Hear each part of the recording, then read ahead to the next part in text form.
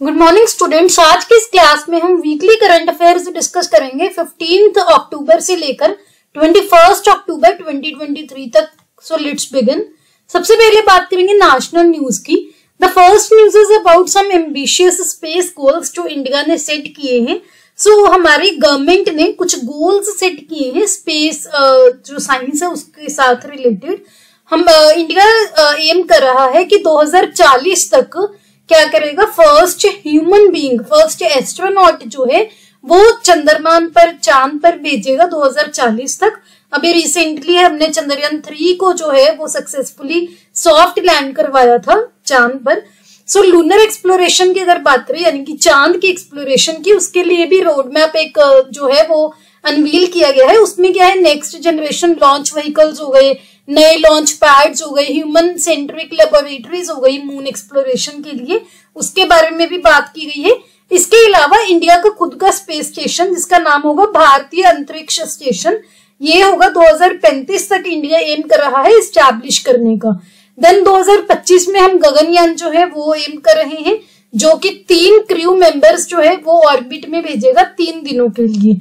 Similarly NASA के साथ India ने एक आर्टिमिस अकॉर्ड जो है वो साइन किया है स्पेस एक्सप्लोरेशन के लिए, जिसके अंदर भारत के जो एस्ट्रोनॉट्स हैं, वो इंटरनेशनल स्पेस स्टेशन विज़िट करेंगे 2024 में ट्रेनिंग रिसीव करने के बाद। देन है लो अर्थ ऑर्बिट ऑब्जर्वेटरी जो कि इसरो और नासा दोनों का कंबाइंड एक मिशन है। ये क्या करेंगे? Low earth orbit observatory launch करेंगे 2024 में। अर्थ के इकोसिस्टम को मॉनिटर करेंगे, अर्थ के आइस मास को वेजिटेशन को सी लेवल को नेचुरल डिजास्टर्स को।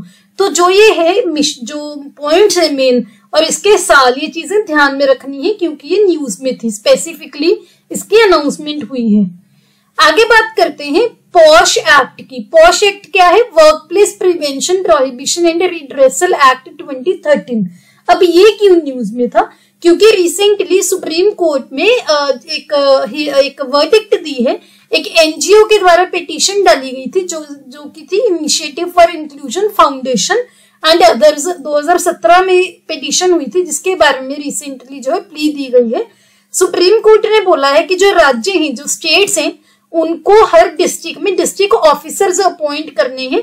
सेक्सुअल हरासमेंट के sexual harassment at work place prevention prohibition and redressal act 2013 के अंडर हर स्टेट को डिस्ट्रिक्ट ऑफिसर्स जो अपॉइंट करने हैं, वो आगे क्या करेंगे district officer local complaints committee जो है, वो बनाएँगे सो दैट वमेन से जो भी छोटी छोटी स्टैब्लिशमेंट्स में एम्प्लॉयड है, यानी कि ऐसी फैक्ट्रीज या ऐसी वर्क प्लेसेस जहाँ पे दस वर्कर से कम जो लोग काम करते हैं, जहाँ पर जो जो मेन कल्प्रिट है वो एम्प्लॉयर ही हो जो एम्प्लॉयमेंट देता हो section six of the act के अंडर उसके लिए स्पेसिफिकली लोकल कंप्लेंट्स कमिटीज बनाई जाए। देन जो लोकल कमिटीज बनाई जाएँगी उनके जो चेयरपर्सन होंगे और हर मेंबर जो होगा वो क्या करेगा? ए, उसका जो टेन्योर होगा वो तीन साल से ज़्यादा नहीं होगा। उनकी जो अपॉइंटमेंट है वो डिस्ट्रिक्ट ऑफिसर जो है वो स्पेसिफाई करेंगे। तीन साल से नीचे नीचे जो है उनकी डेट ऑफ़ अपॉइंटमेंट के बाद जो टाइम है वो तीन साल से कम होना चाहिए उनका टेन्योर उसके अलावा एक नोडल पर्सन आइडेंटिफाई किया जाएगा डिपार्टमेंट के बीच में ही जो पॉश एक्ट की इम्प्लीमेंटेशन देखेगा और सेंट्रल गवर्नमेंट के साथ कोऑर्डिनेट करेगा. तो यहाँ पर आपको ध्यान रखना है कि पोश एक्ट के बारे में आपको क्या स्टेटिक चीज़ें हैं पता होनी चाहिए. पहला है कि जो पोश एक्ट है ये बना ही इस, इसलिए था कि जो वमेन है जो लेडीज़ हैं उनके लिए वर्क प्लेसेस को सेफ़ बनाया जाए सेक्सुअल हरासमेंट के केसेस को प्रिवेंट करके प्रोहिबिट करके और रिड्रेस करके वर्क प्लेसेस में। और इसके रिगार्डिंग आपने एक विशाखा गाइडलाइंस का नाम ज़रूर ध्यान रखना है, जो कि सुप्रीम कोर्ट ऑफ़ इंडिया ने 1997 में जो गाइडलाइंस दी थी, उसी के बेस्ड पोस्ट एक्ट जो है, ये इनेक्ट किया गया था। तो ये चीज़ें आपको ध्यान रखनी है। आगे बात करेंगे, अपार एक जो कि एक यूनिक आईडी होगी हर स्टूडेंट के लिए। सो जो नेशनल एजुकेशन पॉलिसी 2020 है, उसी के पार्ट की तरह यूनियन मिनिस्ट्री ऑफ़ एजुकेशन ने एक प्लान नोटिफाई किया है कि वो स्कूल स्टूडेंट्स हैं जो भारत के, जो विद्यार्थी हैं स्कूल में जाने वाले, उनके लिए एक यूनिक एक अलग टाइप की आईडी नंबर जो है क्रिएट करेंगे, जो कि नाम है जिसका अपार, जिसकी फुल फॉर्म है automated permanent academic account registry ये क्या होगी? पूरी लाइफ के लिए, पूरी लाइफ लॉन्ग एक यूनिक आईडी नंबर होगा, हर स्टूडेंट के लिए उनके आधार नंबर पर बेस्ड होगा। ये आइडेंटिटी नंबर सभी स्टूडेंट्स के लिए होगा प्री प्राइमरी से लेकर हायर एजुकेशन तक। ये जो सिस्टम है, ये डिजिटल फॉर्म में एग्ज़ाम रिजल्ट्स को स्टोर करेगा स्पोर्ट्स अचीवमेंट्स को ओलंपियाड आउटकम्स को, और जो स्टूडेंट्स जो ड्रॉप आउट हो जाते हैं, उनके ट्रैक को जो है ट्रैक ढूँढने के लिए हेल्प करेगा। आगे बात करेंगे। रिसेंटली हमारे कैबिनेट ने राबी क्रॉप्स के लिए मिनिमम सपोर्ट प्राइस जो है अप्रूव की है 2024-25 के सीज़न के लिए। तो एमएसपी क्या होती है? मिनिमम सपोर्ट प्राइस जो क्या है गवर्नमेंट जिस रेट पर जो सरकार है, वो किसानों से फ़सलें खरीदती है और वो क्या होती है, जितनी खर्चा होता है किसान का, जो कॉस्ट ऑफ़ प्रोडक्शन होती है, उससे कम से कम डेढ़ गुना होती है। जो एमएसपी है वो commission for agriculture cost and prices CACP recommend करता है जो कि ministry of agriculture and farmers welfare के साथ एक अटैच्ड ऑफ़िस है। इनके रिकमेंडेशन के बाद जो cabinet committee on economic affairs है वो फाइनल डिसीज़न लेती है एमएसपी के लेवल पर। सो so, रिसेंटली जो राबी क्रॉप्स हैं जैसे वीट हो गई जैसे मस्टर्ड uh, सीड्स हो गई ये जो क्रॉप्स होती हैं जो अभी नवंबर में जिनकी बिजाई की जाएगी और अप्रैल, मार्च, अप्रैल में कटाई की जाएगी, इनको बोलते हैं राबी क्रॉप्स। वहाँ पर देखा गया है कि जो मसूर की दाल होती है, लेंटिल होते हैं, वहाँ पर तो जो जो एमएसपी है, वो चार सौ पच्चीस रुपीज़ पर क्विंटल के रेट से बढ़ी है। उसके अलावा जो रेपसीड और मस्टर्ड है, उनका दो सौ रुपए पर क्विंटल से बड़ी है। तो ये चीज़ें आपको ध्यान रखनी है। आगे बात करेंगे इलेक्टोरल बॉन्ड्स की, ये भी रिसेंटली न्यूज़ में था। सो इलेक्टोरल बॉन्ड स्कीम जो है 2017 में इंट्रोड्यूस की गई थी फाइनेंस बिल बिल की फॉर्म में और 2018 में ये इम्प्लीमेंट किया गया था। एक्चुअल में ये है क्या, जो रजिस्टर्ड पॉलिटिकल पार्टीज़ होती हैं, यहाँ पर जो रजिस्टर्ड वर्ड है, ये बहुत ध्यान से आपको याद रखना है की वर्ड है। जो पोलिटिकल पार्टीज़ रजिस्टर्ड हैं सिर्फ़ उन्हीं को इलेक्टोरल बॉन्ड के थ्रू आप डोनेट कर सकते हो इंडिविजुअल हो, चाहे कोई एंटिटी हो, और जो डोनर है, जो दान देगा, जो पैसे देगा, जो चैरिटी देगा, उसकी जो पहचान है, वो एनोनिमस होगी। तो वो पहचान कहीं पर भी डिस्क्लोज नहीं की जाएगी। इसके लिए ऑथराइज्ड बैंक कौन सा है? State Bank of India SBI जो है, वो बॉन्ड्स इशू करता है, हज़ार रुपए के, दस हज़ार के, एक लाख के, दस लाख के, एक करोड़ के। इलेक्टोरल बॉन्ड्स जो है ये जो जिसको भी आप डोनेट करना चाहते हो उसका नाम होगा उस पर और, जो है ब्याज नहीं उसको इंटरेस्ट फ्री होगा और ऑन डिमांड उसको पे कर दिया जाएगा। इंडियन सिटीजन जो है वो इलेक्टोरल बॉन्ड खरीद सकते हैं या फिर कोई एंटिटीज जो इंडिया में स्टैब्लिश्ड है इंडिविजुअली कोई भी इंसान अकेला भी खरीद सकता है ज्वाइंटली दो अलग अलग इंडिविजुअल्स एक साथ मिलकर भी खरीद सकते हैं। पंद्रह दिनों के लिए वैलिड होता है, यानी कि जब भी ये इशू होगा, उसके पंद्रह दिन के बीच बीच वो जो उसकी पेमेंट है, वो बैंक से पार्टी को जो रिडीम करवानी पड़ेगी, पैसे लेने पड़ेंगे। यहाँ पर आपको ध्यान रखना है कि जो पॉलिटिकल पार्टीज़ हैं, जो रजिस्टर्ड है सेक्शन 29 ए के under representation of people's act 1951 के, वही जो हैं, और जिनकी जो लास्ट जनरल इलेक्शन में जिन्होंने कम से कम एक परसेंट वोट्स जो हैं वो उन्होंने सिक्योर की थी जब लोकसभा की हम बात करते हैं, वो एलिजिबल होंगे इलेक्टोरल बॉन्ड्स रिसीव करने के लिए। डिजिटली भी आप खरीद सकते हो और चेक के थ्रू भी खरीद सकते हो। और ऑथराइज्ड बैंक अकाउंट के जो पॉलिटिकल पार्टी है, उसके ऑथराइज्ड बैंक अकाउंट के थ्रू ही इनकैशमेंट हो पाएगी।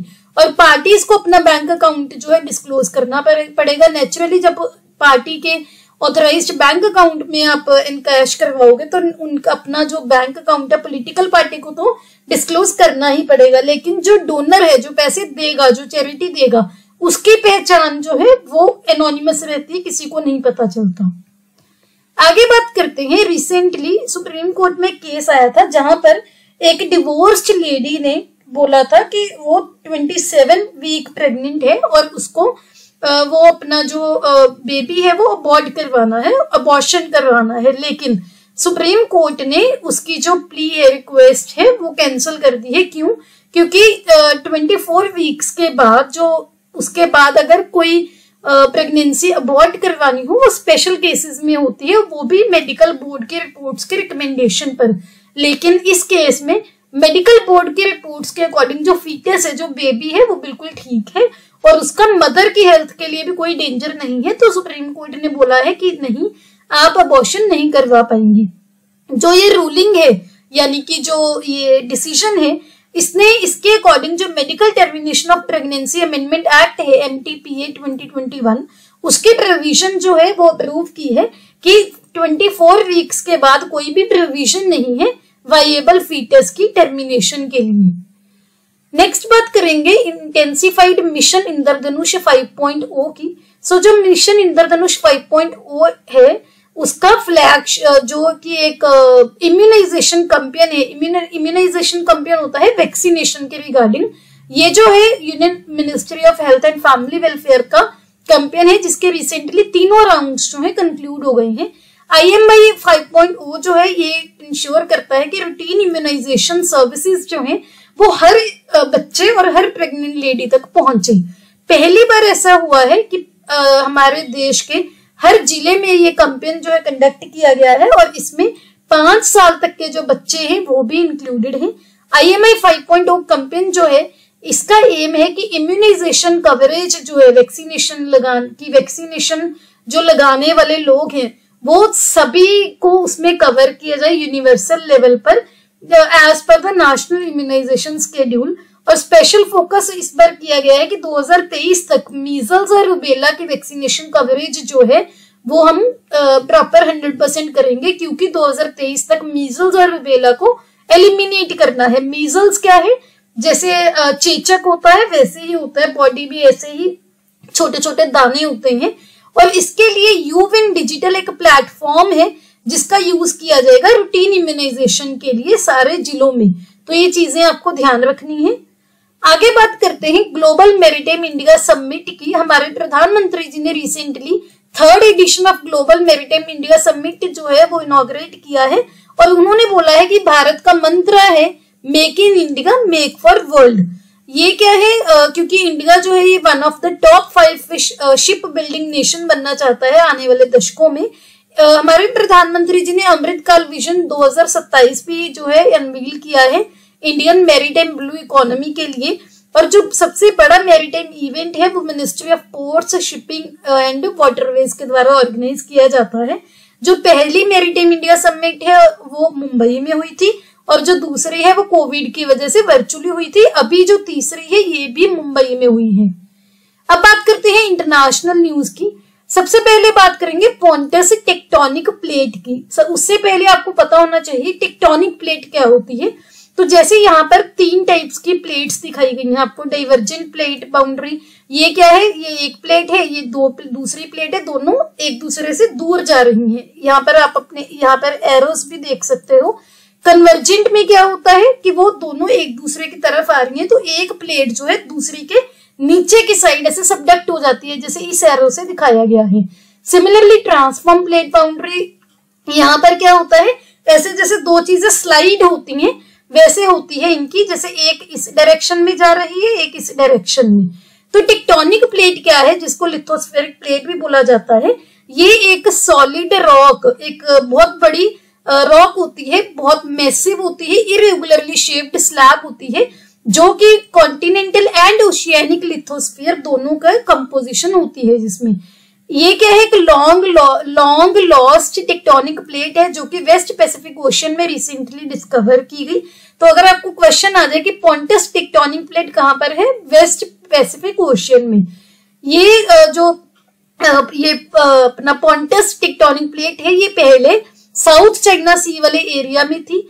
पॉन्टस प्लेट क्यों रखा गया है? इसका नाम एंशियंट पॉन्टस एसोसिएशन की ओशियन की एसोसिएशन के साथ। और विद टाइम क्या हुआ है? छोटी हो गई है। क्यों? क्योंकि जो ऑस्ट्रेलियन प्लेट है, उसके ये नीचे दस गई है साउथ में और ऊपर चाइना प्लेट के द्वारा नॉर्थ में। तो अल्टीमेटली जो ये ट्वेंटी मिलियन ईयर्स पहले डिसअपियर हो गई थी। तो ये आपको ध्यान रखना है कि ऐसे जैसे ये दो टुकड़े हैं, बहुत मैसिव है, ये तो आपको एक डायग्रामेटिकली रिप्रेजेंटेशन दिखाई गई है, लेकिन ये एक्चुअल में बहुत मैसिव होते हैं। ये अब बात करते हैं पॉन्टस टेक्टोनिक प्लेट की। ये कहाँ पर जो है डिस्कवर की गई है? काफ़ी टाइम पहले, जो अभी मैंने आपको बताया 20 मिलियन साल पहले जो जो है लॉस्ट हो गई थी टेक्टोनिक प्लेट वो रिसेंटली डिस्कवर की गई है बाय चांस जब वो बोर्नियो में पुरानी रॉक्स को स्टडी कर रहे थे। अब बोर्नियो कहाँ पर है? जो हमारा साउथ ईस्ट एशियन रीजन है, यहाँ पर है बोर्नियो। यहाँ पर है इंडोनेशिया, बोर्नियो, मलेशिया तो यहाँ पर है। यहाँ पर आपको पॉन्टस प्लेट दिखाई गई है। यहाँ पर इंडो चाइना है, इधर फिलीपींस है इजागाई प्लेट है पैसिफिक प्लेट है तो ये आपको ध्यान रखना है। आगे बात करते हैं सैरेत मटकल की। सैरेत मटकल क्या है? ये इसराइल आपको पता होगा भी इसराइल और जो हमास ग्रुप है, इनमें काफ़ी जो क्योस चल रहा है एक, आ, काफ़ी आप बोल सकते हो डिस्टर्ब डिस्टर्बेंस हो रखी है वहाँ पर। तो जो इसराइल है उसका सबसे ज़्यादा स्पेशल ऑपरेशन फोर्स है जिसका नाम है सैवेद मटकल जो कि तैयार हो रही है अगले रेस्क्यू मिशन के लिए कहाँ पर? गाजा स्ट्रिप में। इसकी जो लोकेशन है, हम काफ़ी बार देख चुके हैं तो इस बार मैंने ये रिपीट नहीं की। सैरेत मेडिकल जो है, इसको जनरल स्टाफ रिकोनाइसेंस यूनिट 269 पे बोला जाता है, जो कि एक एलीट कमांडो यूनिट है इसराइली डिफेंस फोर्सेस की। एक फ़ील्ड इंटेलिजेंस गैदरिंग यूनिट है, जो कि रिकोनाइसेंस जो है, बहुत डीप वो एनिमल लाइन्स के पीछे वो कंडक्ट करती है। काउंटर टेररिज्म होस्टेज रेस्क्यू ये सारी चीज़ें करती है तो ये आपको ध्यान रखना है। आगे बात करते हैं रविंद्र नाथ टेगोर जी की बस, जिसकी पहले आप पिक्चर देखो।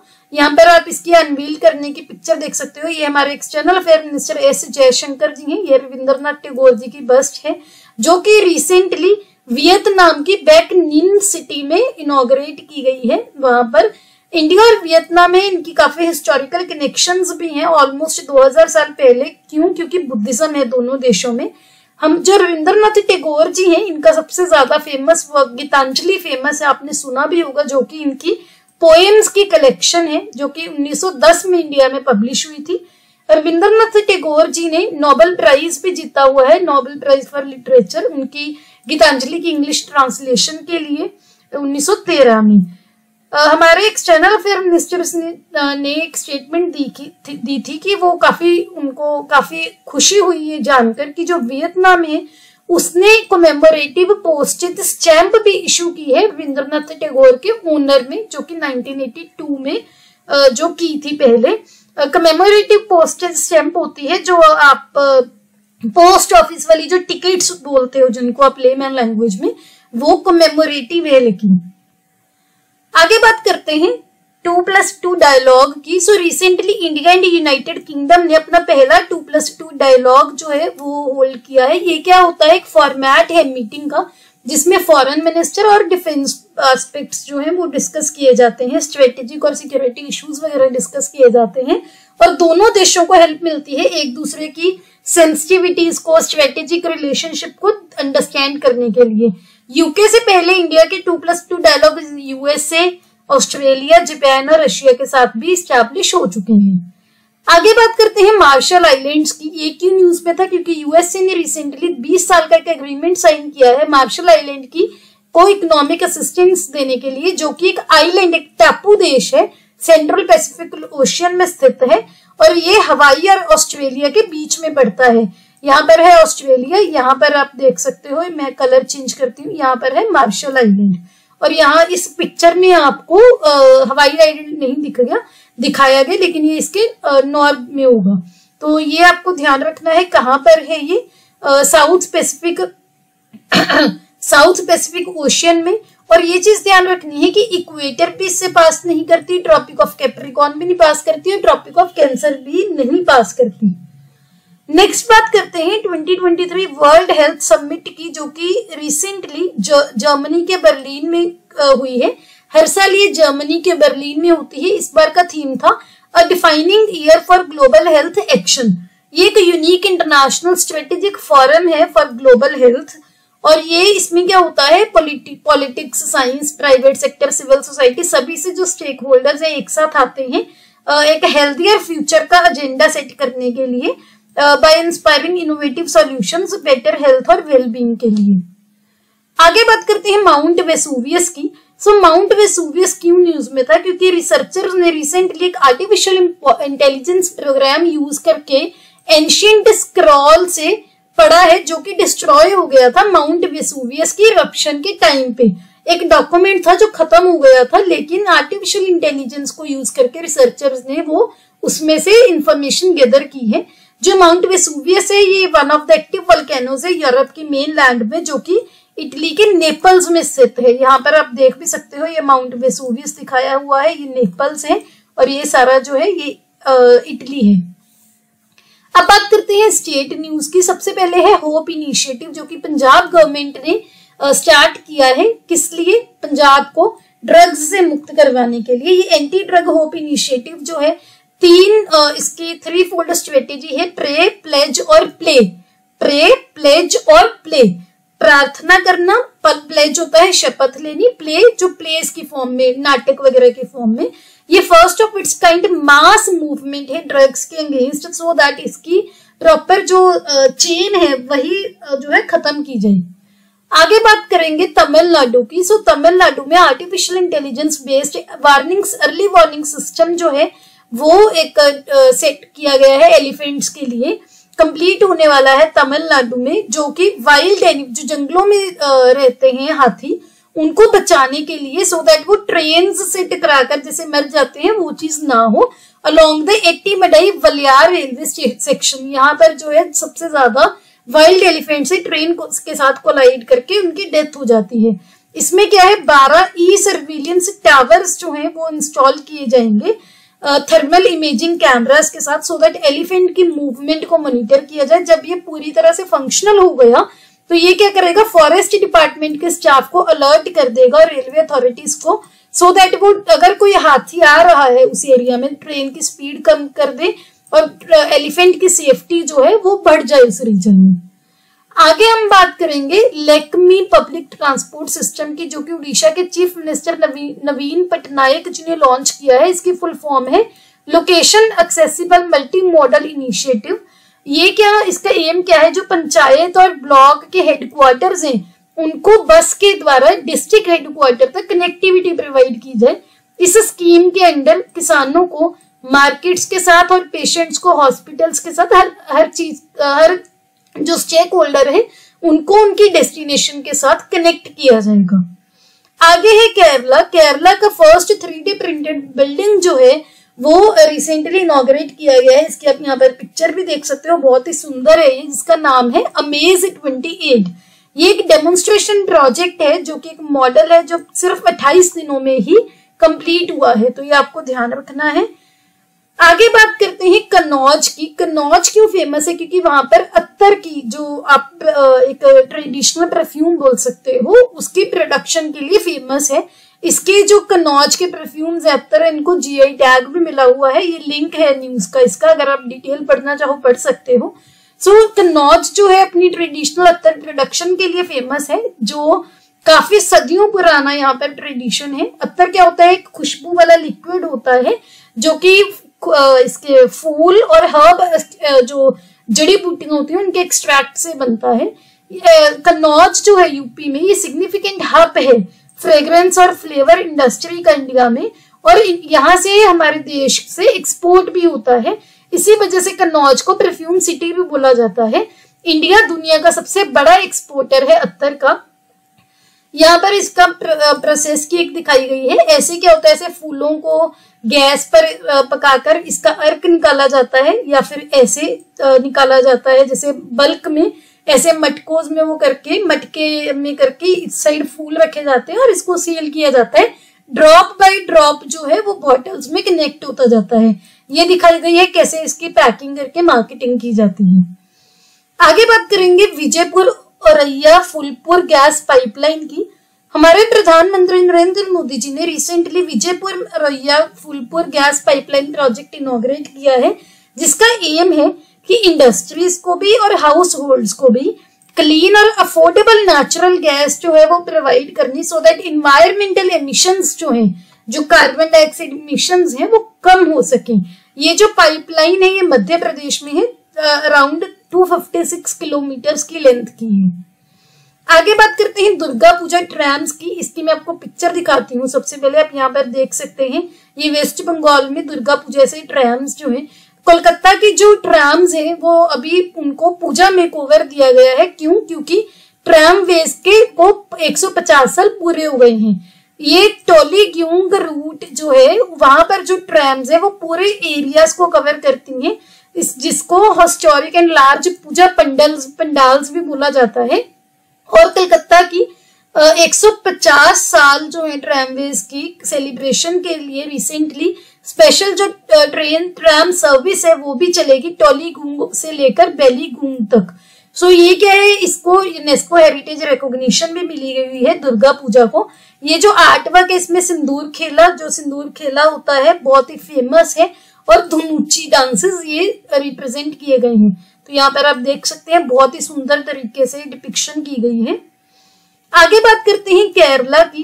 केरला की गवर्नमेंट ने एक प्लान किया है कि वो बेम्बूस को सड़कों के साइड्स पे लगाएँगे। क्यों? जो मुनार के गैप रोड है, वहाँ पर सो दैट जो लैंड स्लिप्स होती हैं, उसको बचाया जा सके। इसका रीजन क्या है? क्योंकि जो बेम्बू होता है, वो ज़मीन के नीचे चार पाँच फीट तक जाकर ग्रो करता है तो जो मिट्टी है उसको काफ़ी स्ट्रॉन्ग प्रोटेक्शन देता है।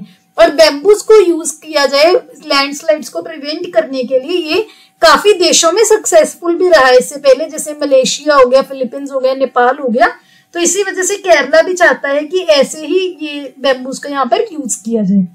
आगे बात करते हैं।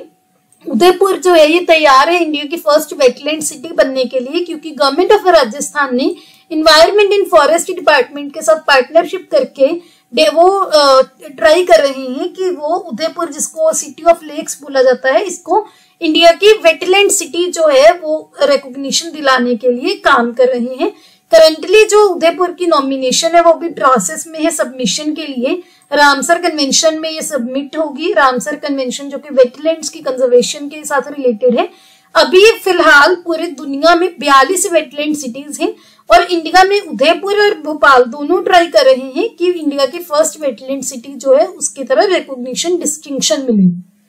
आगे बात करते हैं राबी महाअभियान 2023 की। बिहार के चीफ मिनिस्टर ने रिसेंटली राबी कैंपेन 2023 लॉन्च किया है और ये जो कैंपेन के रिगार्डिंग जो रथ हैं, वो फ्लैग ऑफ़ किए हैं बिहार के सभी जिलों में। एक ग्रीन फ्लैग देकर ये जो कैंपेन है, राबी क्रॉस 2023 की सक्सेस के लिए लॉन्च किया गया है। किसानों को क्या किया जाएगा? ये जो स्कीम है, जो एग्रीकल्चर डिपार्टमेंट जो स्कीम्स चला रहा है, उसके बारे में इन्फॉर्म किया जाएगा राबी सीज़न के रिलेटेड राबी सीज़न जो अभी नवंबर से शुरू होकर मार्च, अप्रैल तक चलता है। अवेयरनेस जो होगी ये क्रॉप रेजिड्यू मैनेजमेंट रेजिड्यू होता है जो पीछे फ़सल जब काटते हैं, उसके बाद बचता है। तो उसको कैसे मैनेज करना है? और जो अभी आपने देखा होगा, पराली जो जलाई जाती है स्टेबल बर्निंग होती है, ऐसे केसेस को खत्म करने के लिए, क्योंकि उससे मिट्टी को भी नुकसान होता है और इन्वायरमेंट को भी होता है। आगे बात करते हैं, लचित बोरफुकन्स स्टेचू की। असम के चीफ मिनिस्टर हिमंत बिस्व शर्मा जी ने रिसेंटली लचित बोरफुकन जी का एक स्टेचू अनवील किया है, जो कि काफ़ी फ़ेमस है, क्योंकि उन्होंने मुगल के साथ जो है काफ़ी बहादुरी से लड़ाई की थी, क्योंकि जब वो अहोम किंगडम किंगडम पर जो है कैप्चर करना चाहते थे मुगल्स, इसकी पहले आप पिक्चर देखो, ये यहाँ पर आपको पिक्चर दिखाई गई है। लचित बोर्क्यूफन जो है, इनका जो बहादुरी है, ये डिस्प्ले की गई है ड्यूरिंग जो उन्होंने सिक्सटीन सेवेंटी वन की बैटल ऑफ़ सराई घाट के टाइम दिखाई थी, जहाँ पर उन्होंने मुगल फोर्सेस को जो है रोका था। जिन जिनको राजा राम सिंह वन लीड कर रहे थे अहोम किंगडम पर कैप्चर करने के लिए। तो ये आपको ध्यान रखना है। इसके बाद है विजिंजम पोर्ट विजिंजम पोर्ट जो है यहाँ पर सबसे पहले आप देखिए ये आ, दिखाई गई है आपको लोकेशन विजिंजम पोर्ट क्यों न्यूज़ में था? क्योंकि ये अभी वैसे तो अंडर कंस्ट्रक्शन है लेकिन जो विजिंजम इंटरनेशनल सी पोर्ट है जहाँ पर यहाँ पर पहली शिप पहुँच चुकी है जो ये कंट्री का हमारे देश का पहला deep water container transshipment terminal है, जो कि केरला में तिरुवंतपुरम के पास सिचुएटेड है। मैंने आपको अभी लोकेशन भी दिखाई। ये पब्लिक प्राइवेट पार्टनरशिप पर बेस्ड है। तो ऐसे एग्जांपल्स भी आप कोट कर सकते हो। इसके बाद बात करते हैं जगेश्वर मंदिर की। हमारे प्रधानमंत्री जी ने उत्तराखंड में रिसेंटली जगेश्वर टेंपल और पार्वती कुंड को विज़िट किया। ये जट गंगा के नदी के पास में लोकेटेड है। इसकी भी मैं आपको पिक्चर दिखाती हूँ। काफ़ी एंशियंट टेंपल है, यहाँ पर आप देख सकते हैं। स्कंद पुराण और लिंग पुराण के अकॉर्डिंग यहाँ पर जो जो भगवान शिव जी की पूजा है, वो यहीं से स्टार्ट हुई थी। और ये जो टेम्पल्स हैं, जगेश्वर टेम्पल्स इतने सारे, ये पोस्ट गुप्ता पीरियड से बिलोंग करते हैं और प्री मेडिवल इरा से मोस्टली इनकी, इनको बनाया या रेनोवेट किया था कत्यूरी डायनेस्टी के राजों ने। तो ये आपको ध्यान रखना है। अब बात करते हैं जदेरी नमकट्टी की। इसकी भी पहले आप पिक्चर देखिए। ऐसे दिखती है। ये क्ले की ऐसे फिंगर्स लाइक स्टिक्स होती हैं। तो ये क्यों इसका नाम पड़ा है? जदेरी नाम की जगह से है ये, जदेरी नमकट्टी ये क्या है? क्ले स्टिक्स है। व्हाइट कलर में होती है फिंगर लाइक शेप्स में। जदेरी एक छोटा सा गाँव है तमिलनाडु के तिरुवन्नमलाई ज़िले में। ये जो है नमकट्टी ये सिलिकेट मिनरल्स हैं। उसके रिच डिपॉजिट से बनते हैं, जो कि फाइन ग्रेन पार्टिकल्स बनाते हैं क्ले के। क्ले को प्रोसेस कर, किया जाता है, फिर फिंगर लाइक शेप में बनाया जाता है। ये जो मूर्तियाँ होती हैं, जो मेल्स होते हैं, उनके माथे को डॉन करने के लिए, जो मंदिरों में एलिफेंट्स हैं उन पर, और जो लेडीज़ जो बेबी को बर्थ देती हैं, उनके बाद जो स्ट्रेच मार्क्स होते हैं, उसको ट्रीट करने के लिए यूज़ किया जाता है। आगे बात करते हैं रणबीरेश्वर टेंपल की जो कि जम्मू कश्मीर में है। रिसेंटली जम्मू कश्मीर में दो दिन काफ़ी तेज बारिश हुई तो कुछ पोर्शन रणबीरेश्वर टेंपल का वो कोलैप्स हो गया। रणबीरेश्वर टेंपल का जो नाम है इनके जो फाउंडर महाराजा रणबीर सिंह पर पड़ा इसकी जो कंस्ट्रक्शन uh, है 1863 में स्टार्ट हुई थी और 18 20 साल लगे थे इसको बनाने के लिए और ये नॉर्थ इंडिया का सबसे बड़ा शिव मंदिर है। इसकी भी आप यहाँ पर पिक्चर देख सकते हो। आगे बात करते हैं। रिसेंटली भोपाल का महिला थाना, हमारे देश का पहला थाना बना है, जिसको आईएसओ सर्टिफिकेशन मिला है। ISO nine zero zero one ratio two thousand fifteen certificate ये क्या है? इस पुलिस स्टेशन की कमिटमेंट दिखाता है सर्विसेज़ और फैसिलिटीज़ को इम्प्रूव करने के लिए, जो क्वालिटी सेफ्टी और एफिशिएंसी को एफिशिएंसी को इंश्योर करने के लिए। देन बात करेंगे। रिसेंटली झारखंड हमारे देश का पहला राज्य बना है जिसने मिनिमम वेजेस फॉर वर्कर्स को इंश्योर किया है, क्योंकि इन्होंने जो मिनिमम वेजेस है, ऐसे वर्कर्स के लिए भी इंश्योर की है, जो गिग वर्कर्स होते हैं, जैसे जो टैक्सीज वगैरह चलाते हैं, ओला उबर के अंडर, जो फ़ूड डिलीवरी करते हैं स्विगी जोमेटो वगैरह के अंडर, जो रेपिडो एम्प्लॉयज़ हैं तो इनको भी मिनिमम वेजेस के एम्बिट के अंडर लाया गया है। मिनिमम वेजेस एक्ट 1948 जो है, इसके अंडर जो मिनिमम रेट्स प्रोवाइड किए जाते हैं शेड्यूल एम्प्लॉयमेंट्स के लिए, और इसके अंडर अप्रोप्रिएट गवर्नमेंट किसको बोला गया है? सेंट्रल गवर्नमेंट और स्टेट गवर्नमेंट्स को। तो ये आपको ध्यान रखना है। इस एक्ट के अंडर पब्लिक सेक्टर में भी और प्राइवेट सेक्टर के एम्प्लॉयज़ के लिए रेट्स जो है minimum rate of wages fix किए जाते हैं। आगे बात करते हैं बथुकम्मा फेस्टिवल्स की। ये नौ दिन चलता है बथुकम्मा फेस्टिवल हर साल होता है तेलंगाना में। ये क्या है? फ्लावर्स का फेस्टिवल है। इसकी मैं आपको पिक्चर दिखाती हूँ। यहाँ पर आप देख सकते हैं, बहुत ही सुंदर ऐसे फ्लावर्स का वो होता है। ये कलरफुल फ्लोरल फेस्टिवल है। वमेन जो है सेलिब्रेट करती हैं। पूरे हफ़्ते वमेन क्या करती हैं? एक मदर दुर्गा है, जो कि गावड़ी की डीटी है।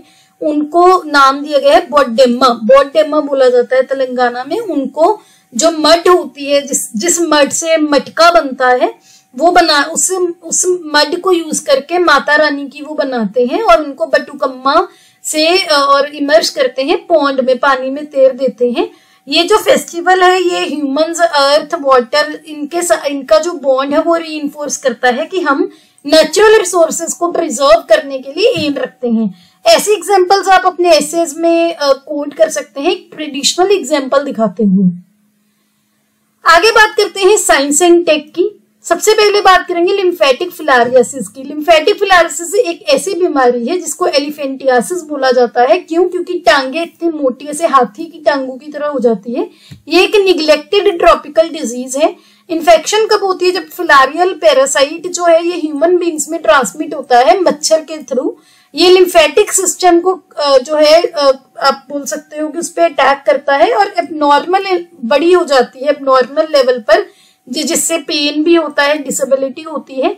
डब्ल्यू एच ओ के अकॉर्डिंग लाओ पीपल्स डेमोक्रेटिक रिपब्लिक जो है, जिसकी आपको यहाँ पर लोकेशन दिखाई गई है, यहाँ पर सर्कल किया गया है, ये बांग्लादेश के बाद सेकंड देश बन गया है 2023 का। टोटल नहीं 2023 में सेकंड देश, जिसने लिम्फेटिक फ्लारियसिस को एलिमिनेट किया है।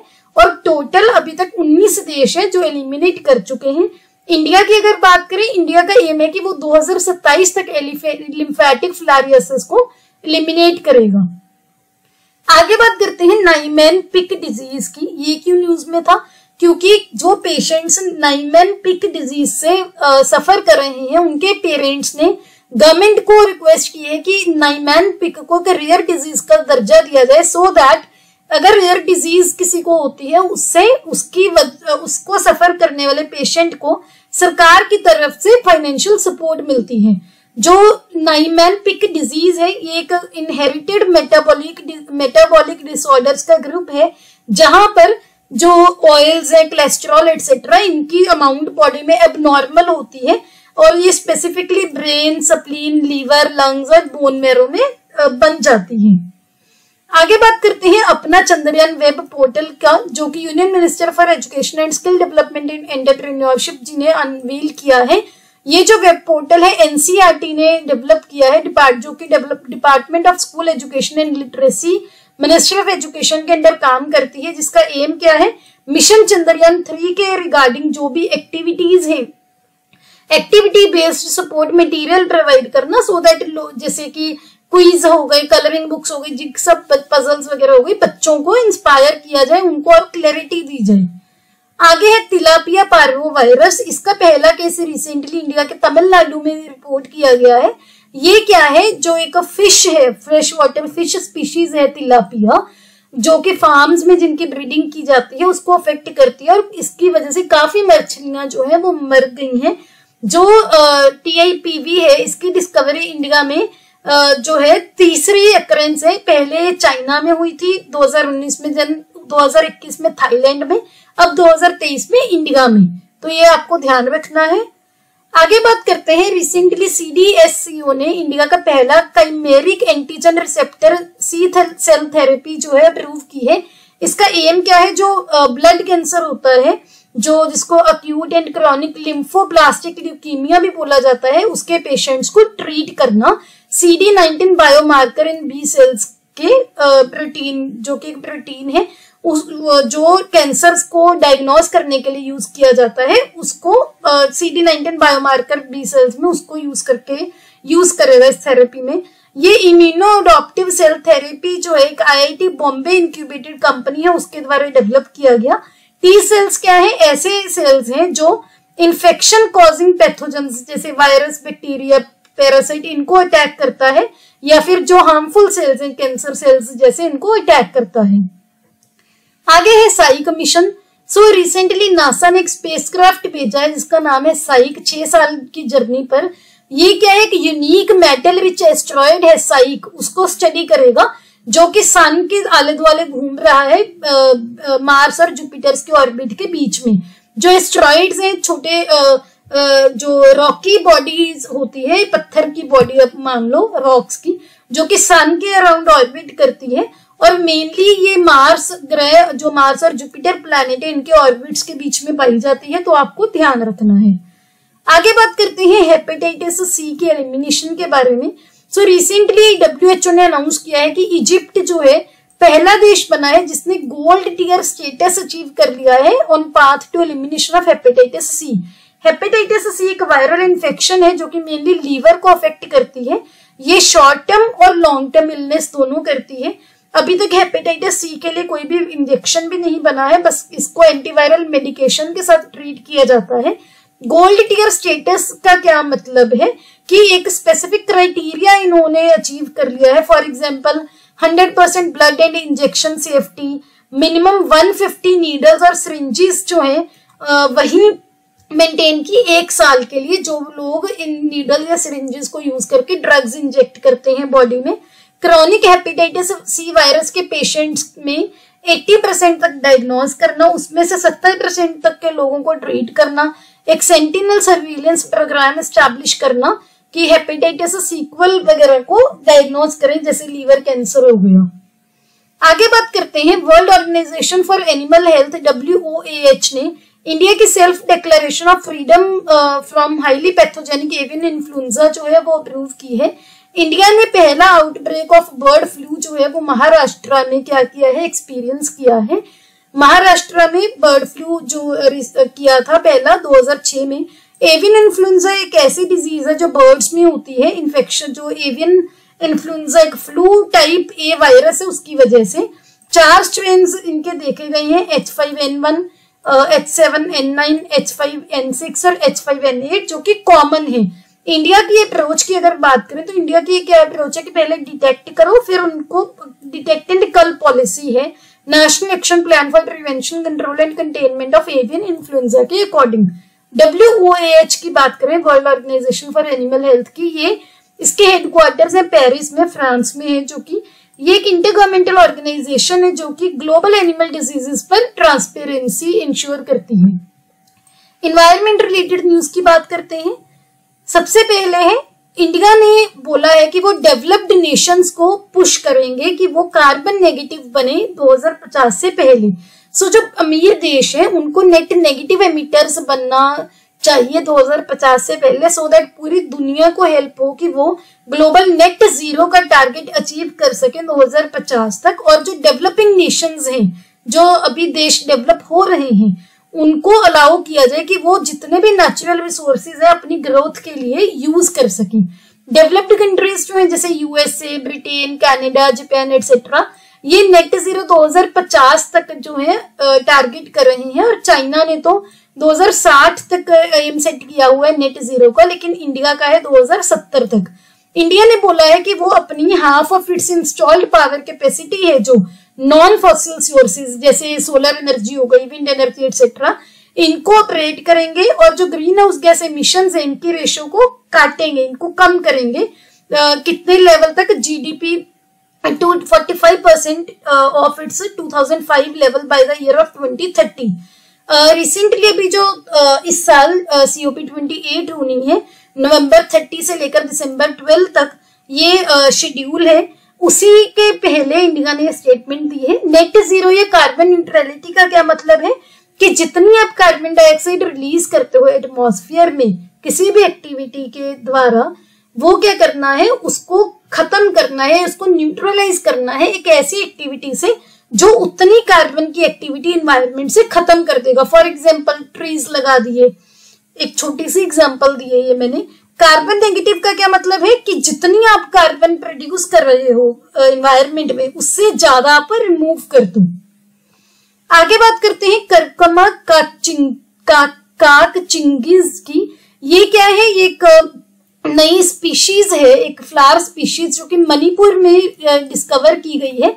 जिसकी आप यहाँ पर पिक्चर देख सकते हो ये एक रॉबस्ट प्लांट है यानी कि बहुत बड़ा है जिसकी जो हाइट है आठ फीट तक होती है और जो इसकी टर्मिनल इन्फ्लोरोसेंस है इन्फ्लोरोसेंस होता है बहुत ज़्यादा नंबर में फ्लावर्स तो टर्मिनल्स में फूल लगते हैं यहाँ पर आप देख सकते हो यहाँ पर जूम करके आपको फ्लावर दिखाया गया है। ये क्या है कि एनजियोस्पर्मिक फैमिली जिंगी बिरासेची का, का मेंबर है जहाँ पर ऐसे प्लांट्स हैं जैसे करकमा हो गया टर्मेरिक जो हल्दी है, जिंजर हो गया, कार्डमम दालचीनी इस फैमिली से ये बिलोंग करता है। करकमा लौंगा नाम के एक प्लांट से, इसकी काफ़ी रिजेम्बलेंस है, जिसको लोकल वहाँ पर मणिपुर में याइंगुंग और कर्मा, करकमा पायरा यवन क्या है थाईलैंड की स्पीशीज है, जो कि लेमन येलो कलर से जो डिस्टिंग्विश की जाती है, जिसका जो टेस्ट है, काफ़ी बिटर होता है। तो ये आपको ध्यान रखना है, यहाँ पर येलो भी आपको दिखाया गया है। आगे बात करते हैं ओजोन होल की। सो अंटार्कटिका जो कॉन्टिनेंट है, उसके ऊपर जो ओजोन होल है, ओजोन होल मतलब जो ओजोन लेयर है स्ट्रेटोस्फीयर में, वहाँ पर होल है जो। वो अब पहले जो ब्राज़ील देश है साउथ अमेरिका में, उससे, उस देश के साइज़ से तीन गुना हो गया है। और ये वन ऑफ़ द बिगेस्ट है, जो अभी तक रिकॉर्ड किया गया है। एक नेचुरल फिनोमिनन है, लेकिन साइंटिस्ट के अकॉर्डिंग जो क्लाइमेट चेंज है ये क्या करते हैं इसकी वजह से जो ओजोन होल का प्रोसेस है ये, आप बोल सकते हो कि एग्जेजरेट हो रहा है स्पीड पे हो रहा है। सैटेलाइट्स की हेल्प से जो मेज़रमेंट की गई है, उसी ने एक बहुत बड़ा होल जो है वो डिटेक्ट किया है ओजोन लेयर में। आगे बात करते हैं नीलगिरी ताहर की, इसकी भी आप यहाँ पे पिक्चर देख सकते हो, ऐसा दिखता है ये। तमिलनाडु की गवर्नमेंट ने recently project Nilgiri Tahr launch किया है, जिसका एम क्या है? नीलगिरी ताहर का ओरिजिनल हैबिटेट जहाँ पर ये रहते हैं, उसको रिस्टोर करना, जितने भी खतरे हैं इस एनिमल को, उसको एड्रेस करना लोगों को अवेयर करना इस स्पीशीज के बारे में। ये अकेला ही, केवल अकेला ऐसा माउंटेन उनगुलेट है, यानी कि ऐसा एनिमल जिसके हूव्स हैं। हूव्स ऐसे जो यहाँ पर आप देख सकते हो हूव्स जैसे घोड़े के होते हैं। तो ऐसा एनिमल अकेला है जो माउंटेन उंगुलेट है सदरन इंडिया में पाया जाता है। ये तमिलनाडु का स्टेट एनिमल भी है और ये एंडेमिक है वेस्टर्न घाट्स में। एंडेमिक होता है जिस एरिया में वो रिस्ट्रिक्टेड हो, वहीं पर जो मिले। और आयुसियन स्टेटस की अगर बात करें तो नीलगिरी ताहर का आयुसियन स्टेटस है इंडेंजर्ड तो ये क्वेश्चन आपको डायरेक्टली भी पूछा जा सकता है। आगे बात करते हैं। इस पिक्चर में आप देख सकते हैं कि ऐसे जो ओशियन है रेड कलर में जो कन्वर्ट हो चुका है तो रेड टाइड बोला जाता है। इसको तो ये क्या होता है? रेड टाइड क्या होता है? इसको हार्मफुल एल्गल ब्लूम्स बोला जाता है। यहाँ पर क्या होता है? जो एल्गी है, जो प्लांट लाइक ऑर्गेनिजम्स होते हैं, समुद्र में या फ्रेश वाटर में, वो बहुत ज़्यादा ग्रो कर जाते हैं, जिसकी वजह से हार्मफुल इफेक्ट्स होते हैं। लोगों पर भी मरीन लाइफ पर भी, जैसे फ़िश हो गई shell fish marine mammals birds वगैरह कुछ लोग इसको रेडिटाइड्स भी बोलते हैं। ज़रूरी नहीं होता हार्मफुल एल्कल ब्लूम्स जो है ये आ, हमेशा ही हार्मफुल हो। इनके बेनिफिट्स भी होते हैं। फॉर एग्ज़ाम्पल ये फ़ूड बनते हैं एनिमल्स के लिए जो ओशियंस में रहते हैं क्योंकि ये ओशन फ़ूड वेब में मेजर सोर्स है एनर्जी का। आज तक का बेस्ट नोन जो हार्मफुल एल्गल ब्लूम है ये हुआ था होता है फ्लोरिडा के गल्फ कोस्ट में। तो ये आपको ध्यान रखना है। आगे बात करते हैं। Ministry of environment forest and climate change ने रिसेंटली दो ग्रीन इनिशिएटिव्स नोटिफाई किए हैं, जिसमें से एक है ग्रीन क्रेडिट प्रोग्राम और दूसरा है इको मार्क स्कीम ये जो लाइफ है लाइफस्टाइल फॉर इन्वायरमेंट मिशन जो कि भारत का ही है, उसके आइडिया को रिफ्लेक्ट करता है, जिसके अंडर हम सस्टेनेबल लाइफस्टाइल और इन्वायरमेंटल कंजर्वेशन को प्रमोट करते हैं। जीसीपी जो है ग्रीन क्रेडिट प्रोग्राम इसका एम क्या है? इन्वायरमेंटल पॉजिटिव एक्शंस को इंसेंटिवाइज करना अलग अलग सेक्टर्स में अलग अलग स्टेक होल्डर्स के द्वारा, जैसे कम्युनिटीज हो गई मार्केट बेस्ड मैकेनिज्म के थ्रू और ग्रीन क्रेडिट जो है जनरेट करना। इकोमार्क स्कीम जो क्या है? ये पहली जो उन्नीस की नोटिफिकेशन थी, उसको रिप्लेस करता है। और जो हाउस होल्ड और कंज्यूमर प्रोडक्ट्स हैं, जो एक स्पेसिफिक इन्वायरमेंटल क्राइटेरिया को सेटिस्फाई करते हैं, उसको लेबल करता है सो दैट की इंडिया की नॉर्म्स के अकॉर्डिंग क्वालिटी स्टैंडर्ड्स को मेंटेन किया जाए और साथ ही साथ इन्वायरमेंट को भी हम सेव कर सकें। आगे बात करते हैं Kanwar lake Kanwar lake news में थी क्योंकि रिसेंटली इसके बारे में था कि ये सूख रही है। कंवर लेक क्या है? एक फ्रेश वाटर नेचुरल वेटलैंड है, जिस जहाँ पर जो पानी है, गंडक नदी, बिया नदी और करे नदी से आता है, जो वहाँ का एक संगम है, वहाँ से पानी आता है।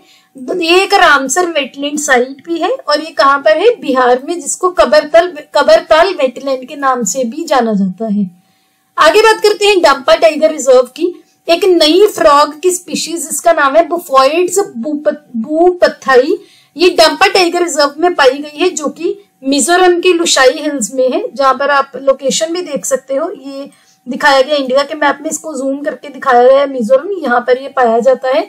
अगर फ्लोरा की बात करें तो यहाँ पर ट्रॉपिकल एवरग्रीन से लेकर सेमी एवरग्रीन जंगल पाए जाते हैं। फोना की अगर बात करें, यहाँ पर hoolock gibbon tiger leopard clouded leopard golden cat Himalayan black bear वगैरह पाए जाते हैं। जो नई स्पीशीज इसकी मेंढक की डिस्कवर की गई है, इसकी आप यहाँ पर पिक्चर देख सकते हो। आगे बात करते हैं एस्टिवेशन की। एस्टिवेशन क्या है? एक प्रोसेस है जो जिस जिस प्रोसेस के अंदर कुछ एनिमल्स क्या करते हैं, जब बहुत ज़्यादा गर्मी बढ़ जाती है तो अपनी एनर्जी को कंजर्व करने के लिए, क्योंकि अगर वो बाहर रहेंगे तो स्वेटिंग होगी, उनकी एनर्जी ड्रेन होगी तो उसको, उससे बचने के लिए क्या करते हैं, ऐसी जगह पर छुप जाते हैं, जहाँ पर टेम्परेचर का इफ़ेक्ट मिनिमल होता है। फॉर एग्ज़ाम्पल जैसे बरोज हो गई, जैसे जहाँ पर जैसे स्नेक्स रहते हैं, जैसे रेबिट्स रहते हैं, जो आपकी आप बोलते हो केव्स वगैरह हो गई तो अंडरग्राउंड चीज़ें होती, जगह होती हैं। इसको बोलते हैं एस्टिवेशन, या एस्टिवेशन। एक बायोलॉजिकल फिनोमिनन है, जहाँ पर एनिमल्स एक long period of dormancy inactivity में चले जाते हैं हाई टेम्परेचर की वजह से, और या फिर सोका वगैरह हो ड्रॉट लाइक कंडीशन हो, एक सर्वाइवल स्ट्रेटेजी है जो कि एनिमल्स को हेल्प करती है एनर्जी और पानी को कंजर्व करने के लिए डिफ़िकल्ट टाइम्स में।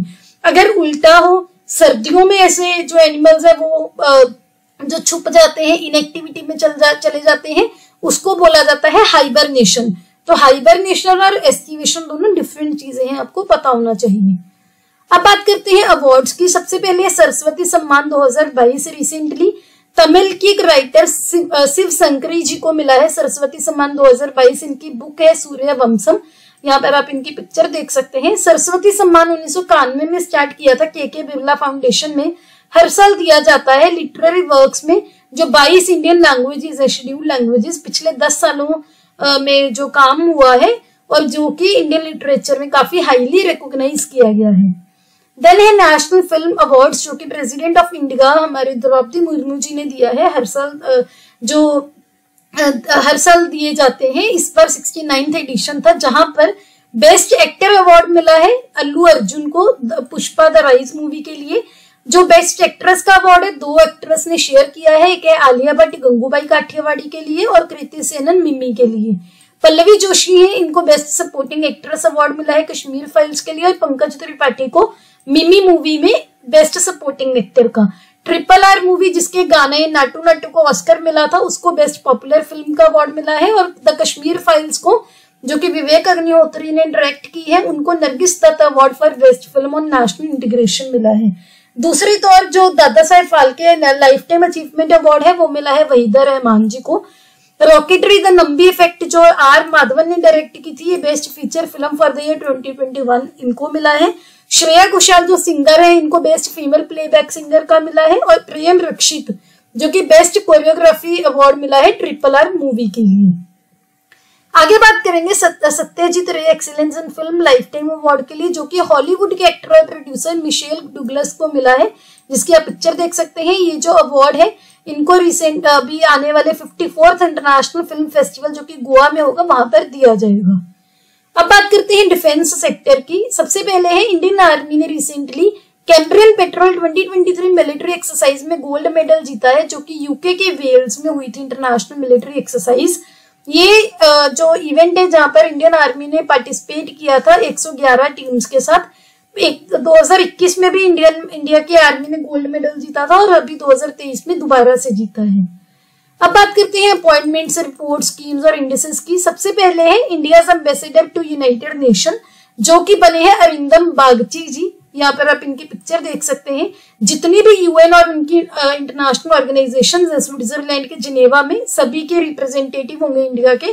अरिंदम अरिंदम अरिंदम अरिंदम बगची जी।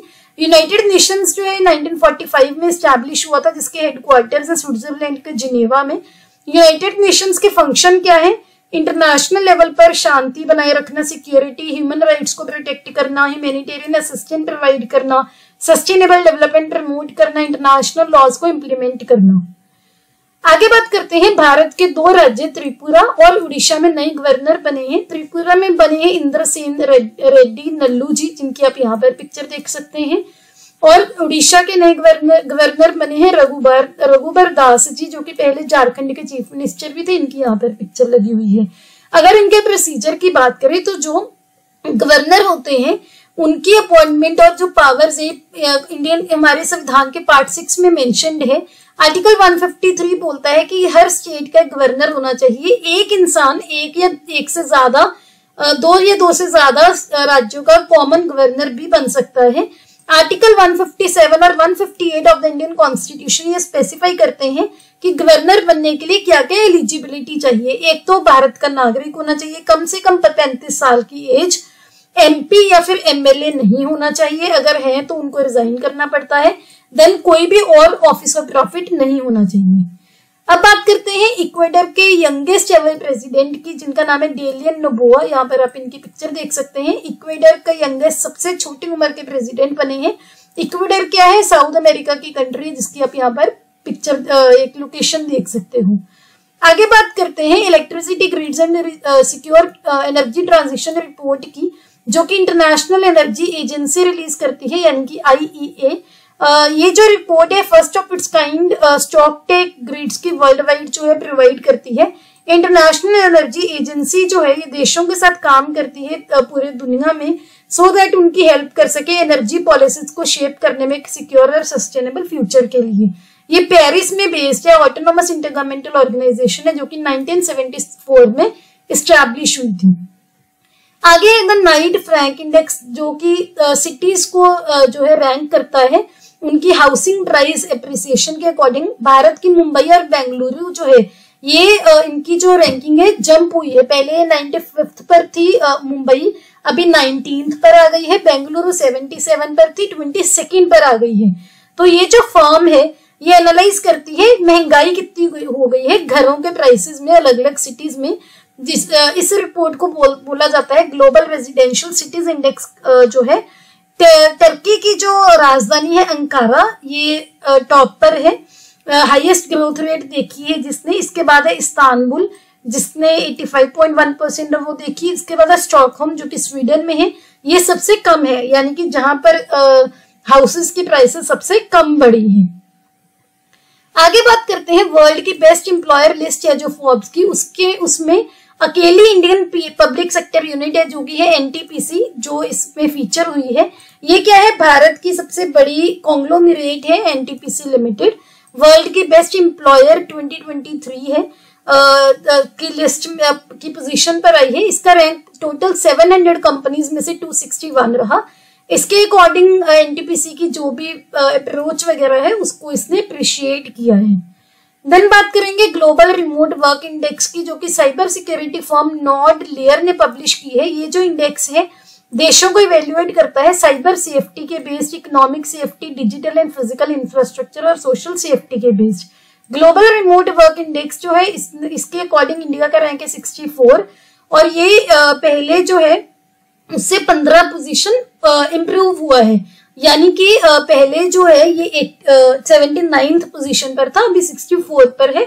ये इंडेक्स देशों को रैंकिंग देता है cyber safety economic safety digital और फ़िज़िकल इंफ्रास्ट्रक्चर और सोशल सेफ्टी के बेस पर। देन है ग्लोबल हंगर इंडेक्स 2023 इसके अकॉर्डिंग भारत की पोजीशन है 111 आप 125 कंट्रीज़ में से। ग्लोबल हंगर इंडेक्स जो है, ये कंसर्न वर्ल्ड वाइड और वेट वेल्ट वेल्ट हंगर लाइफ एक जो कि नॉन गवर्नमेंटल ऑर्गेनाइजेशन है इसके द्वारा रिलीज़ की जाती है जो कि आयरलैंड और जर्मनी से है कंसर्न वर्ल्ड वाइड आयरलैंड से और वेल्थ हंगर लाइफ जो है जर्मनी से है। ये जो स्कोर्स है ये इसमें चार कंपोनेंट्स देखे जाते हैं एक तो अंडर नरिशमेंट कैलोरिक इंटेक के अकॉर्डिंग देन चाइल्ड स्टंटिंग पाँच साल से कम बच्चों में स्टंटिंग देखी जा, जाती है चाइल्ड वेस्टिंग ये भी पाँच साल से कम के बच्चों में, और चाइल्ड मर्टेलिटी मर्टेलिटी होता है डेथ जो पाँच साल से कम के बच्चों को होती है। यहाँ पर आप देखो, ये नॉर्मल एक बच्चे को रिप्रेजेंट किया गया है वेस्टिंग होती है, जब हाइट के अकॉर्डिंग आपका वेट कम है। स्टंटिंग होती है, आपकी एज के अकॉर्डिंग आपकी हाइट कम है। अंडर वेट होता है एज के अकॉर्डिंग वेट कम हो। तो ये सारी डेफिनेशन में डिफरेंस आपको पता होना चाहिए। है impact of disasters on agriculture and food security report पहली ग्लोबल एस्टिमेशन है डिजास्टर्स का क्या इम्पैक्ट होता है एग्रीकल्चरल प्रोडक्शन पर, जिसने ये दिखाया है कि क्लाइमेट चेंज का भी कास्केडिंग इम्पैक्ट होता है पेंडेमिक्स एपिडेमिक्स और आर्म्ड कंफ्लिक्ट के अलावा एग्रीकल्चर की प्रोडक्शन पर भी और फ़ूड सेफ्टी पर भी। ये जो रिपोर्ट है food and agriculture organisation F release करती है, जिसका हेडक्वार्टर है इटली के रोम में। अब बात करते हैं स्पोर्ट्स न्यूज़ की। सबसे पहले है FIDE FIDE world junior rapid chess जहाँ पर रौनक सदवानी और गोभर बेडुलायेवा ये क्या है? चैंपियन रहे ओपन एंड गर्ल्स सेक्शन में, ये रौनक साधवानी और ये गोभर जो बी डुलाइवा है, ये इटली के इटली में हुआ था। FIDE world junior rapid chess competition इनकी यहाँ पर आप दोनों की पिक्चर देख सकते हो। देन है one forty first international Olympic committee session जो कि रिसेंटली मुंबई में हुआ है। हमारे प्रधानमंत्री जी ने इनोग्रेट किया होस्ट किया हमारे इंडिया ने सेकेंड टाइम पहले उन्नीस सौ तिरासी में किया था 2023 में सेकेंड टाइम किया है। इंटरनेशनल ओलंपिक कमेटी के एग्जीक्यूटिव बोर्ड ने रशिया की ओलंपिक कमेटी की सस्पेंशन को इम्पोज किया है, क्योंकि उन्होंने ओलंपिक चार्टर को ब्रीच किया है। उन्होंने ये भी बोला है कि इस सस्पेंशन के बाद जो रशिया के एथलीट है वो न्यूट्रल लेवल पर तो जो पार्टिसिपेट कर सकते हैं। इसके साथ साथ इंडिया ने ये भी बोला है कि वो 2036 के ओलंपिक्स के लिए जो है बिड कर रहे हैं कि इंडिया 2036 के ओलंपिक्स को होस्ट कर सके और अकेला फोर्थ ये फोर्थ एशियन नेशन है जो कि इस गेम्स को होस्ट करेगा, अगर ये जीतता है तो। आगे बात करते हैं नीरज चोपड़ा की, जिनको लॉरियस एम्बेसिडर बनाया गया है। इससे पहले युवराज सिंह, जो कि क्रिकेटर थे, वो थे इंडिया से। अब ये बने हैं, जो कि इंडिया के जेवलिन थ्रोअर हैं।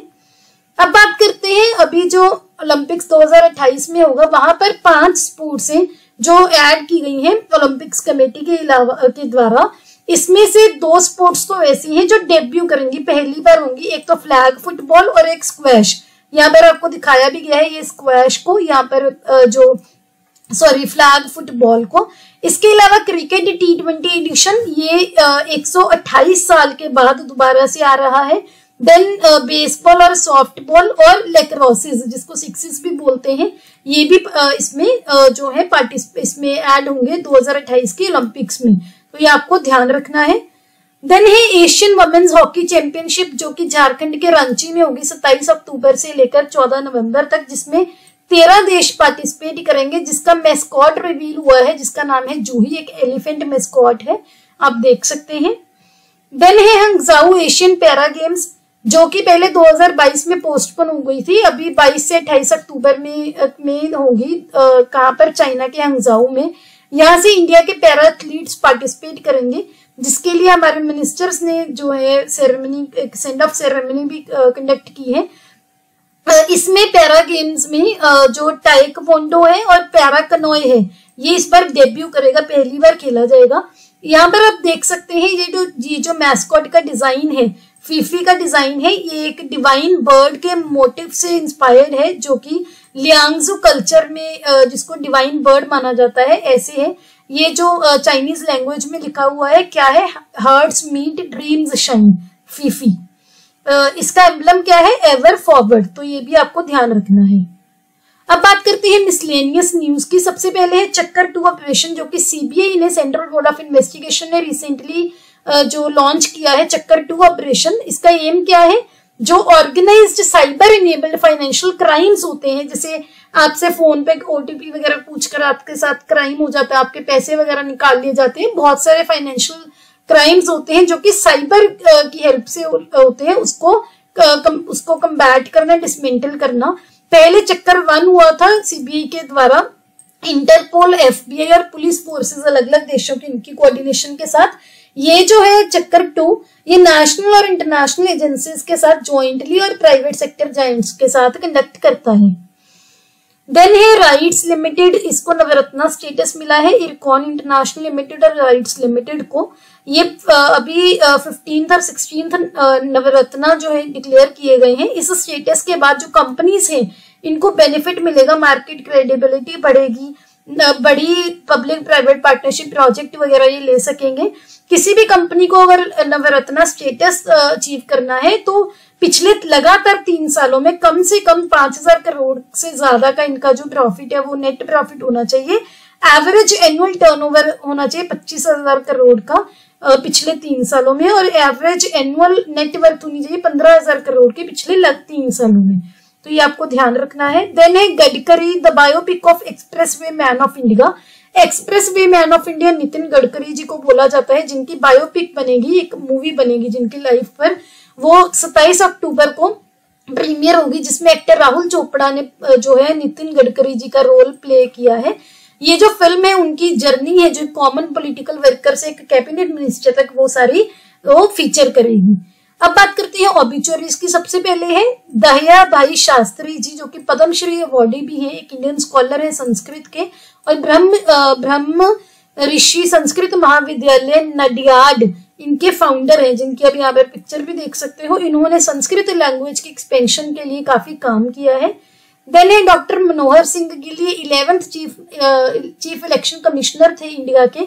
जो रिसेंटली ही पास्ट अवे इन्होंने दिसंबर 1996 से लेकर जून 2001 तक सर्व किया है as a chief election commissioner इनको पद्म विभूषण अवार्ड भी मिला था दो, सन दो ईयर में। उनकी सिविल सर्वेंट की तरह उन्होंने जो एक्सेप्शनल सर्विस दी थी इनकी भी आप यहाँ पर पिक्चर देख सकते हो। अब बात करते हैं इंपॉर्टेंट डेज़ की। सबसे पहले है राष्ट्रीय महिला किसान दिवस फिफ्टींथ अक्टूबर को। मनाया गया, जिसका एम है वमेन की पार्टिसिपेशन को एग्रीकल्चर में इंक्रीज करना। देन है international day of rural women fifteen October को गाँव में जो हाउस होल्ड है, उनकी सस्टेनेबिलिटी कम्युनिटीज में गर्ल्स और वुमेन का क्या रोल है, उसको हाईलाइट करना। इस बार का थीम था rural women cultivating good food for all then है वर्ल्ड स्टूडेंट डे ये भी फिफ्टीन अक्टूबर को मनाया जाता है श्री एपीजे अब्दुल कलाम जी की बर्थडे वाले दिन, जो कि हमारे भारत के प्रेसिडेंट भी रहे हैं। इस बार का थीम था fail stand for first attempt in learning then है global hand washing day fifteen October को मनाया जाता है हैंड वॉशिंग के बारे में अवेयरनेस रेज करने के लिए। इस बार का थीम था clean hands are within reach then है world food day sixteen October को मनाया गया। ये एफ़ की फाउंडेशन को कमेमोरेट करता है, जो कि यूनाइटेड नेशन की स्पेशल एजेंसी है।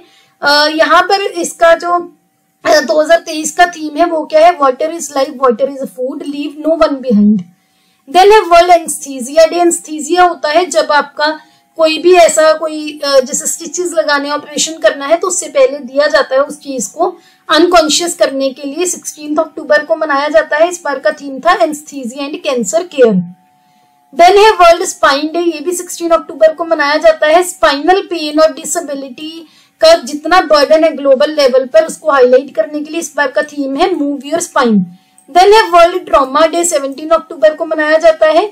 ये जिंदगियों को सेव करने के लिए जो एक्सीडेंट्स में जो बचाई जाती है इमरजेंसी सिचुएशंस में सेफ्टी को इंश्योर करने के लिए।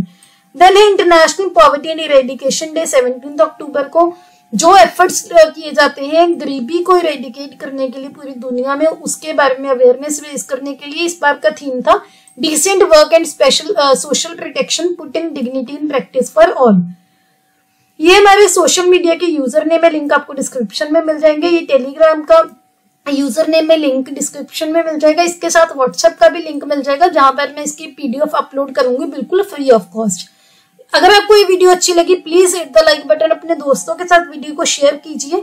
See you on Monday at at o'clock have nice